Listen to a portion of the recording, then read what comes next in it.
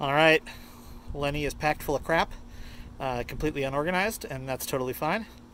Let's go into the wilderness.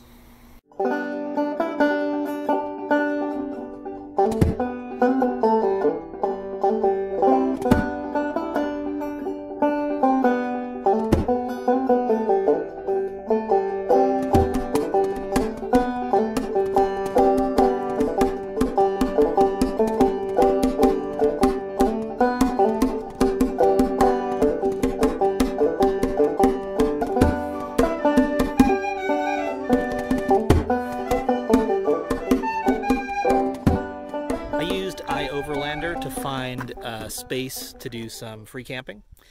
And the route that it was taking me was maybe 10 or more miles on a really bumpy dirt road. And given that I just bought this van, which is just a minivan, uh, I decided that maybe I wouldn't do quite as much off roading on my very first excursion. So I pulled over, opened up the app again, and I found that I was very close to another recommended place, um, which is where I am now. I'm really not that far from Tucson, 45 minutes, something like that. Um, and I have seen a car go by, but I think probably be fine. So I'm gonna uh, set up my bedding, and then I'm gonna make some dinner.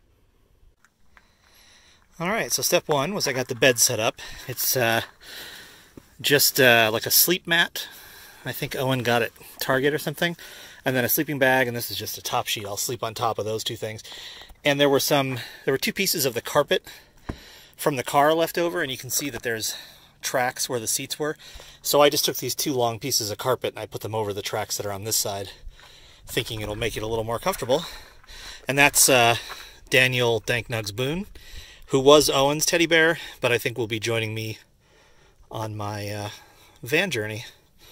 So now it's time to set up dinner.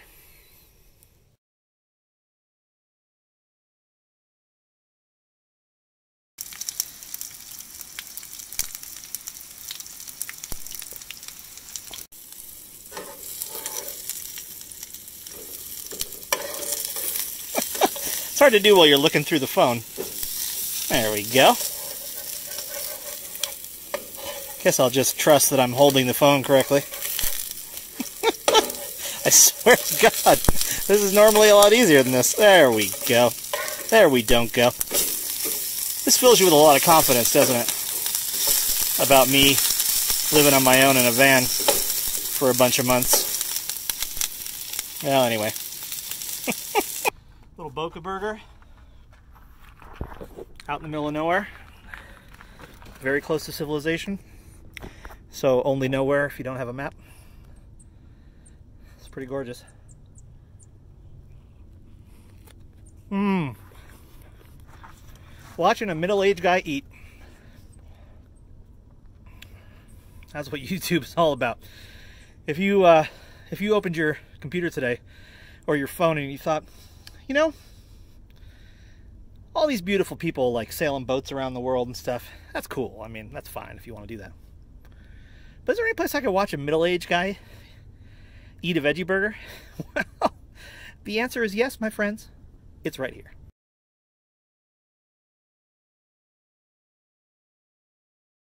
It's the simplest thing in the world. I mean, I, I made something it took like five minutes to make.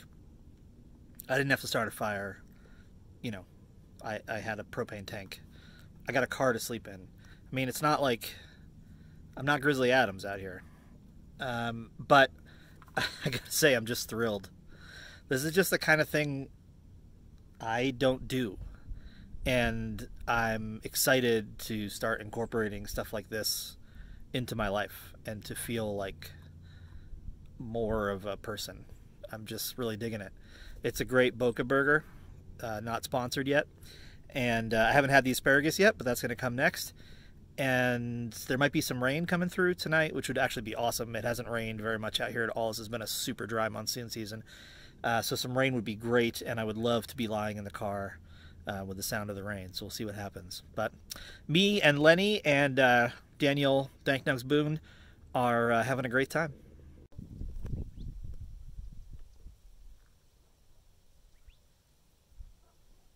I don't know if you can hear that noise out there, but I think that's a curve-billed thrasher.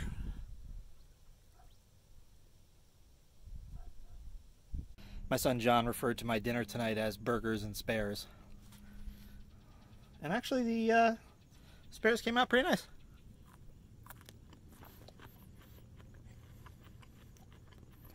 Pretty tasty, a little olive oil, a little fresh air.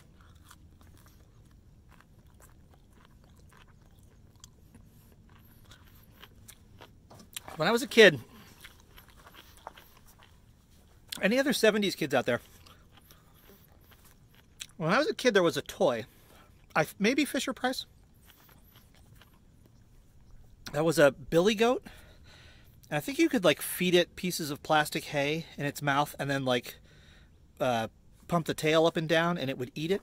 Does anybody else remember that? I haven't ever Googled it, which I probably would solve this question in three seconds. But I do seem to remember that that existed, that either I had it or my cousin Lynn had it.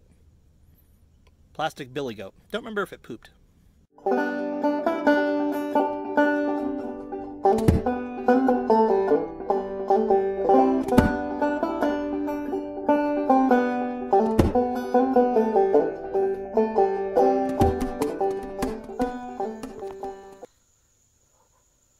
The moon's just peeking out from behind the clouds.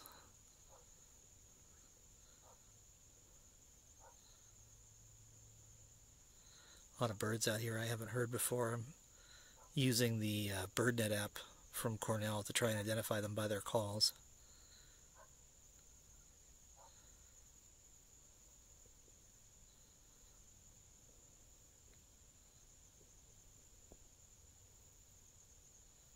So beautiful.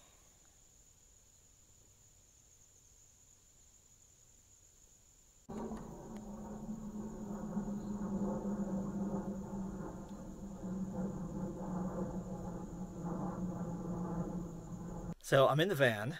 It's uh, it's definitely warm.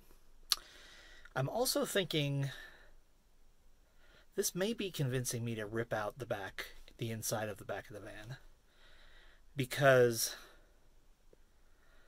this is a fairly small bed I'm sleeping on. I mean, probably narrower than a twin, and well, it's not a bed. I mean, but you know, collection of things I'm sleeping on, narrower than a twin, I would think. And I don't know if there'd be enough room for cabinets and a sink and stuff. There might be. I'll, I'll think about it. But it might need a little more room back here. Anyway, I'm going to turn in.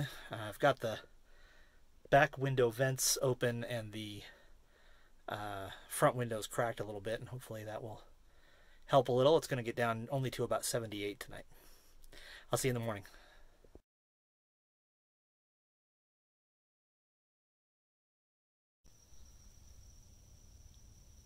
It's just about 5 a.m.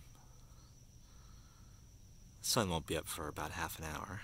This is around when I normally wake up, usually because a cat jumps on me, but there's no cat with me right now.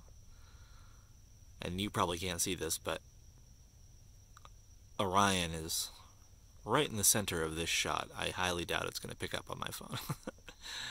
uh, but it's absolutely gorgeous. There's a rooster it sounds like somewhere uh, off in the distance. Don't know what he's crowing at because it's still dark. I slept pretty well. Um, little discomfort on my back, to be totally honest. Just to think the surface is a little hard. But uh, generally speaking, I slept pretty well. It's gotten a lot lighter. You can hear a ton of curve-billed thrashers out there. That's the beepy guys there.